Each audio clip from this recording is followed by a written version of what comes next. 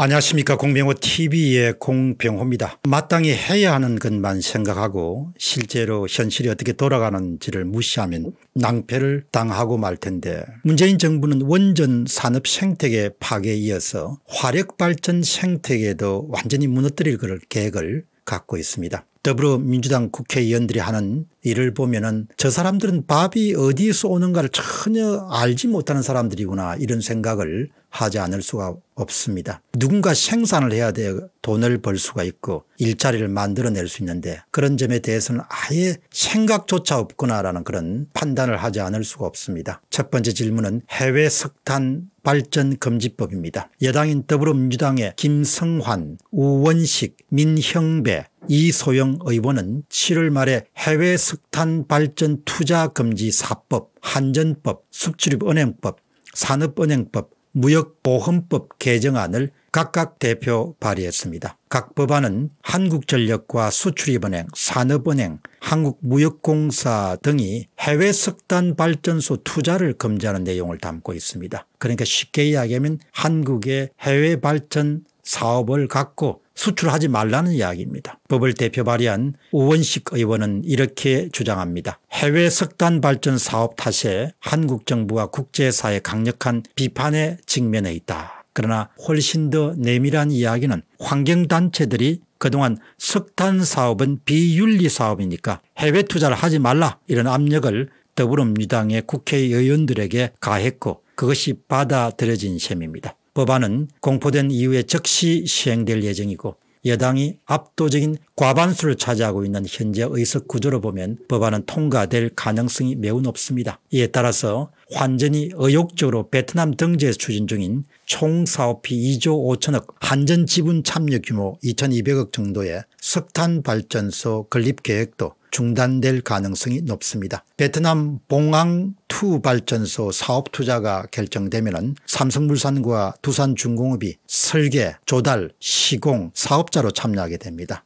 그리고 수출입은행과 무역보험공사는 대출 및 보증을 쓰게 되고 또한 수출입은행은 베트남 정부와 법적 구속력이 있는 금융 지원을 확약한 바가 있습니다. 다음은 석탄 사업의 생태계 붕괴입니다. 석탄 사업의 해외 수출이 중단되면 기업들은 원전에 이어서 국내 석탄 발전 수출 산업 생태계가 치명적인 타격을 입고 붕괴될 것으로 예상하고 있습니다. 해외 석탄 발전 사업은 건립부터 설계, 조달, 시공 및 운영까지 한국전력과 대기업 건설회사, 중소 및 중견기업들이 참여하면서 공공과 민간이 해법 사업으로 추진하는 이른바 팀 코리아 프로젝트입니다. 한국은 현재 석탄 발전 산업 분야에서 원자력 산업 분야와 마찬가지로 세계 최고의 기술력을 갖고 있습니다. 특히 한국은 탄소 배출량을 크게 줄이는 초초임 임계압 초초 임계압 기술을 적용하고 있습니다. 중국은 아직까지 이 기술을 확보하지 못한 상태입니다. 만일 한국 기업이 수출할 수 없게 되면 그 빈자리를 기술력이 낮은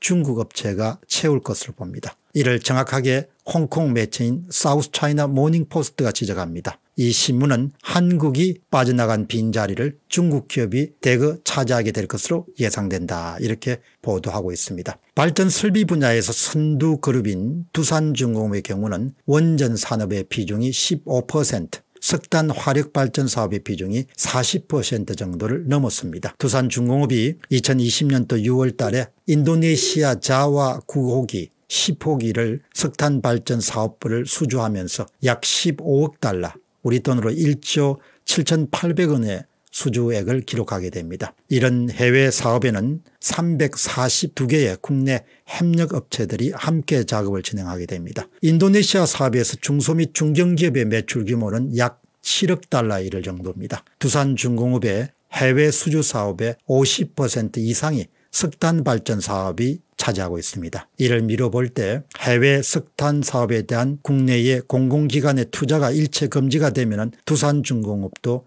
막대한 타격을 받고 석탄 사업 발전 생태계도 거의 와해될 지경으로 내몰릴 것으로 봅니다. 현재 세계에서 석탄 산업 발전의 해외 수출을 위해서 투자 자금을 제공하고 있는 국가는 중국이 500억 달러 일본이 174억 달러, 한국이 58억 달러, 인도가 16억 달러 그리고 독일이 0.3억 달러 정도를 차지하고 있습니다. 석탄 발전 사업의 해외 수출 금지는 탈원전 정책처럼 설착산업 발전의 생태계를 완전히 붕괴시킬 것으로 예상됩니다. 산업 생태계를 하나 만들어내는데 대략 한 세대 혹은 두 세대 정도가 소요되고 그것도 큰 행운이 함께해야 제대로 된 산업 생태계를 만들어낼 수 있습니다. 정말 아마추어 정부는 아마추어답게 행동합니다. 아마추어 정부는 원전 산업의 생태계를 붕괴시키는 것을 가열차게 추진한 바가 있는데 이번에는 깊은 생각 없이 또 한번 석탄 발전 사업 생태계를 무너뜨릴 그런 의혹을 불태우고 있습니다. 탈원전 정책에 이어서 석탄 발전 사업 수출까지 금지시키는 더불어민주당 국회의원들을 보면서 사람이든 회사든 나라든 자기 형편에 맞춰 살아야 된다는 생각을 다시 한번 해보게 됩니다. 자기 형편을 모르고 자기 자신의 실력을 모르고 부화내동하다 보면 은 모든 것을 다 잃게 되는 것이죠. 여기에 300 40여 개 정도 되는 협력업체에 딸린 식구가 얼마나 많겠습니까? 그리고 한국이 세계 최고의 석탄 발전 기술을 소유하기 때까지는 얼마나 많은 그런 엔지니어들의 헌신과 노고가 있었겠습니까? 그런 것을 정책이 그냥 한순간에 허물어버리는 겁니다. 국회의원들이. 탈원전 정책을 참 보면서도 개탄했는데 이번엔 또 석탄 발전 사업 수출까지 금지시키는 더불어민주당 국회의원들을 보면서 정말 대책이 없다는 그런 한탄이 절로 나오게 됩니다. 일본도 투자자금 지원을 해서 자국 산업의 수출을 지원하는 판국에 탄소 가스 배출량 줄이기에 동참해야 된다는 그런 명분을 살리기 위해서 귀한 자국 산업을 죽이려 드는 집권 여당의 국회의원들은 도대체 어느 나라 국회의원들인가라는 것을 묻지 않을 수 없습니다. 한국 국회의원들인가 아니면 당나라 국회의원들인가 그렇게 물어보고 싶다는 생각이 듭니다. 정말 철이 없어도 너무 없다는 생각이 듭니다. 환경단체가 그렇게 뭐라고 요구를 많이 하더라도 국회의원들은 최소한 나라 전체 이익이라는 국익이라는 것을 보고 생각하고 판단하고 법을 만들어야 되지 지금 뜬금없이 해외 석탄 투자 금지법 같은 걸 만들면 어떻게 해야 되느냐. 정말 여당의 국회의원들은 강가에 내놓은 아이들 같다는 생각을 하지 않을 수가 없습니다.